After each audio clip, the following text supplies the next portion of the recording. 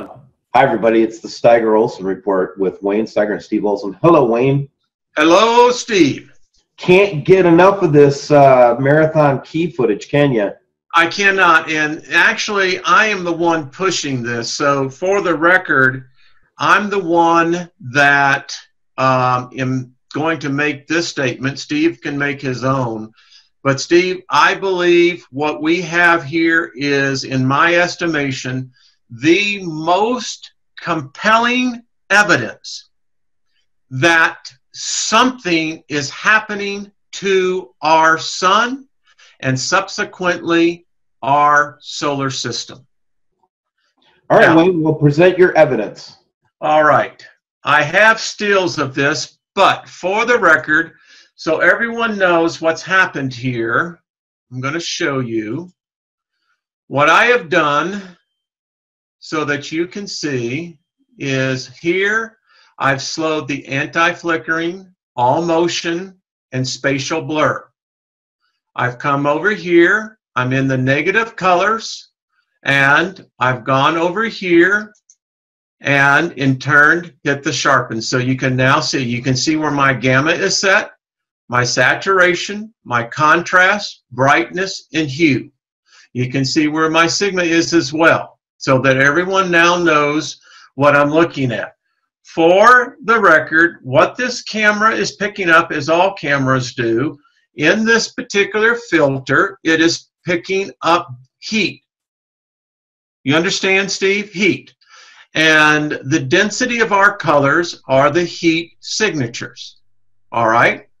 So the sun, obviously, is extremely dense, right? And right. He, That's why it's really black in this filter because it's the hottest thing up there. It is. Now, I am saying that this is not a lens flare, nor is this. In fact, I found this video compelling on several fronts. Number one, what we have seen in so many pictures around the world is not the lens flare, but it is in fact coming off this object right here. All right, so we're going to advance this as well. I have this down so that everyone can see. I go up here to my playback speed, and it is at 10%. I don't want to hit it because it will go down lower than that from here. Let's watch. Now, very important that you saw that those clouds were in front of the sun, right? It's the way it should be. Stop right there. These clouds are in front of this. These clouds are in front of this. These clouds are in front of this. And what's so interesting is that look at what's happened with that same little object. But it gets better, Steve. Yeah, the lens flare didn't go away when the sun got covered. Yeah. And so what happened here, again, is we talk about heat. This is where the clouds are people don't realize that clouds are cool and they'll show up on the camera as well. You can see. Watch this, Steve. And okay, clouds clear away. Yep, clouds connected, but watch this, Steve. Watch the sun. Bingo. Right here, ladies and gentlemen, there is a reaction taking place right here, Steve. I don't know what it is, but there is a reaction building. Now watch. Right there, you see the density? Boom! Whoa! Let me explain. the camera completely. It did, Steve. And look at the density of when you see the densities of colors of this, folks, there has just been I believe what we're seeing, Steve, is not in so much maybe in the IR, but in the UV. Right. This is really bright, everybody. What it's remember we've got the uh, the inverted color so that we can see other objects and things like that more clearly. And boom, um, that is super bright, super intense release of energy. I mean, just think of how much energy it would take for that to to show up like that. It's it over yeah it just overwhelmed the optics completely something happened here i don't know what But something happened here, Steve. And again, well, compelling to me is it seems like it, it's it's arcing to something in the back of it, and it, it that field line ends right at the contour of, of what it seems like is another big freaking ass orb. Yeah. So here's the Norman. Here is. Enormous. And again, we have just not figured out. And if you look at this, this and this are connected. It's a straight line. Yeah. Now watch. Steve, this is probably some of the most phenomenal footage I have seen. And when I I got confused here, but look at this is almost as though this object has an atmosphere. Like a gas cloud type yes. formation. Yes. And, the, and its contour or its texture looks very similar to what we caught with our balloon flights. This is not the sun.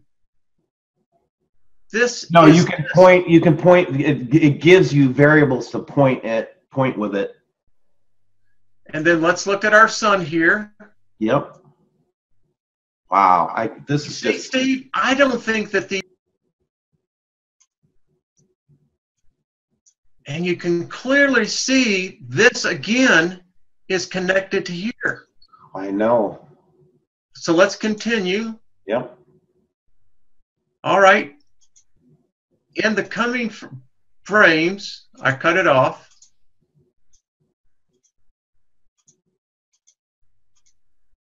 Oh my. There it is, folks. You that is... now, uh, here again, I took that same program, right, Steve? Yep. And this is turning the gamma almost to zero. So if there's anything that's going to be really picked up, it's going to be solid. You know what I'm saying? It's got to have some sort of density to it. Otherwise, the camera, the gamma would just take it out. Look at this. This is this this has an atmosphere, and you can see here clearly now. Look at that, Steve. That and that. Unbelievable. Oh my God. that's just that it's just wow. And then again, that is proving right there that there's a reflection going on there somewhere, uh, you know, on that orb. There's no yeah. other way to say it. No other way of analyzing this, Stephen. There is the explosion. And folks, look what it did to the camera. I mean, the camera picked up waves here, Steve. Yeah, it, it like even the camera had to just stop its its exposure. It just and it was picking it up. It overwhelmed the optics. Yeah, it did. It just shut it out. It shut the aperture off. Look at this. Wow. And then look at the tendril on top. Yes, look at this. Here and here. What the? It's almost as if Steve, it's it's either discharging or trying to connect. I don't know which. Probably both. Probably both, for all we know. Right. But like a little plasma tornado. Yep. Now here is again, we added just a hair of gamma. So we can see more universally what's going on. Yep. And here you can really see this and this. Look at the intensity of this little sucker. This thing is hot. But no, not only that, Wayne, it's the intensities in the middle but then it has a white spot all the way around it, like that white frame. That would indicate that it's cool or not producing light. Exactly. It tells me that um, we're seeing either a core and reaction, but this is solid.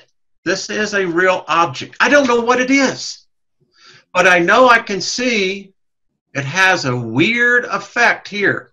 Yeah, we've been seeing that weird effect for a while, but this this this kind of a, a manifestation of oh gosh, man, that's so here's the plasma buildup. Here, there is something building yeah. up right here. Right on. I I agree. And there's the result. Boom. Boom. Hello. Look at that. Just fascinating. Fascinating.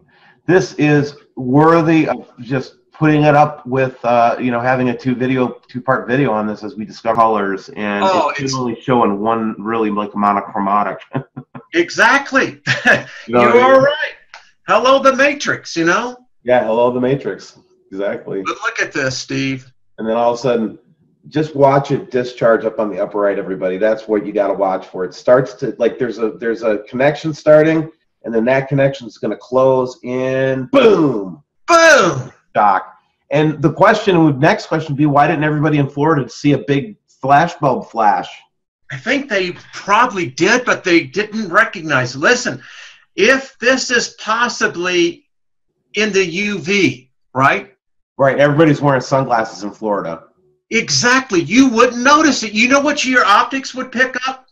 It would be so quick that it would it would be a flash, but you wouldn't recognize it. It's this that there's only three seconds to this video. This is cray cray. So your eye, the human optic nerve, would not pick it up, Steve. Cray cray. That's my word for it. I, I don't know what's going on here.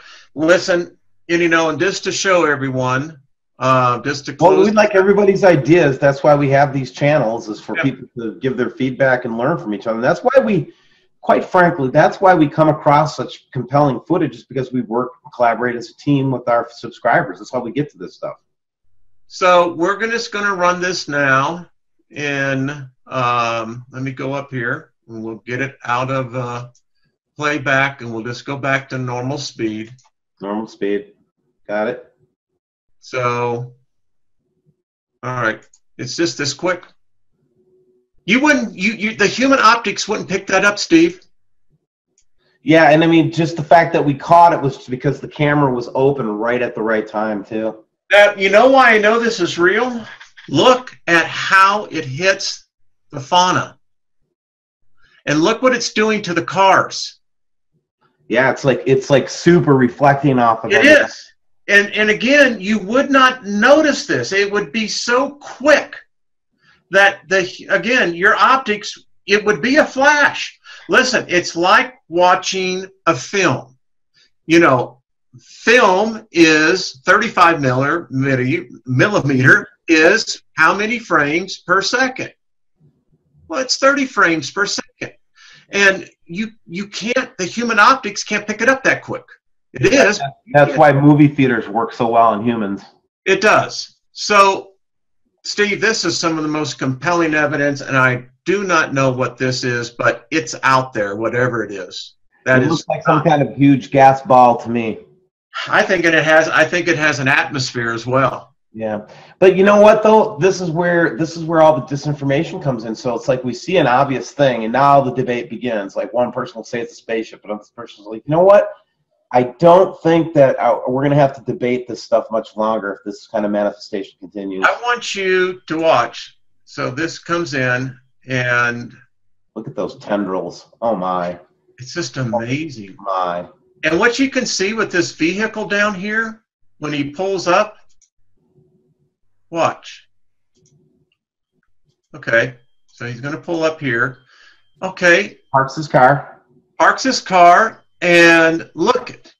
We're not seeing anything that's unusual here. No. Yep. Oops. It goes. That's there. We go. Look at this. It picks it up on the vehicle. Right. That is definitely a discharge in the sky that causes a momentary flash of energy and light, UV yes. light. So people, heads up. Um, I mean, this is this is like that big orb there. You're like going, what is that? Yeah, you know, you would think that one would be excited about this, but what I was excited about was this. It was like, wow, we actually caught a discharge. Yeah, I'm, I'm, you know, and thank you again, Teresa Caldwell. Shout out to her, man. Uh, this got to me by way of one of my subscribers. Teresa, shouting out to you. Thank you, honey, for this. Appreciate it. Thank you. Appreciate it. The Flare didn't go away when the sun got covered. Yeah. And so what happened here again is we talked about heat. This is where the clouds are. People don't realize that clouds are cool and they'll show up on the camera as well you can see. Watch this, Steve. And okay, clouds clear away. Yep, clouds connected, but watch this, Steve. Watch the sun. Bingo. Right here, ladies and gentlemen, there is a reaction taking place right here, Steve. I don't know what it is, but there is a reaction building. Now watch. Right there, you see the density? Boom! Whoa! So we're going to advance this as well. I have this down so that everyone can see. I go up here to my playback speed, and it is at 10%. I don't want to hit it because it will go down lower than that from here. Let's watch. Now, very important that you saw that those clouds were in front of the sun, right? It's the way it should be. Stop right there. These clouds are in front of this. These clouds are in front of this. These clouds are in front of this. And what's so interesting is that look at what's happened with that same little object. But it gets better, Steve. Yeah, the lens. For the record, so everyone knows what's happened here, I'm going to show you what I have done so that you can see is here I've slowed the anti-flickering, all motion, and spatial blur. I've come over here, I'm in the negative colors, and I've gone over here and in turn hit the sharpen. So you can now see, you can see where my gamma is set, my saturation, my contrast, brightness, and hue. You can see where my sigma is as well, so that everyone now knows what I'm looking at. For the record, what this camera is picking up, as all cameras do, in this particular filter, it is picking up heat. You understand, Steve? Heat. And the density of our colors are the heat signatures. All right? So the sun, obviously, is extremely dense, right? And right. Heat. That's why it's really black in this filter because it's the hottest thing up there. It is. Now, I am saying that this is not a lens flare, nor is this. In fact, I found this video compelling on several fronts. Number one, what we have seen in so many pictures around the world is not the lens flare, but it is in fact coming off this object right here. All right. Hi, everybody. It's the Steiger Olson Report with Wayne Steiger and Steve Olson. Hello, Wayne. Hello, Steve. Can't get enough of this uh, marathon key footage, can you? I cannot. And actually, I am the one pushing this. So, for the record, I'm the one that um, am going to make this statement. Steve can make his own. But, Steve, I believe what we have here is, in my estimation, the most compelling evidence that something is happening to our sun and subsequently our solar system. All right, now, Wayne, we'll present your evidence. All right. I have stills of this, but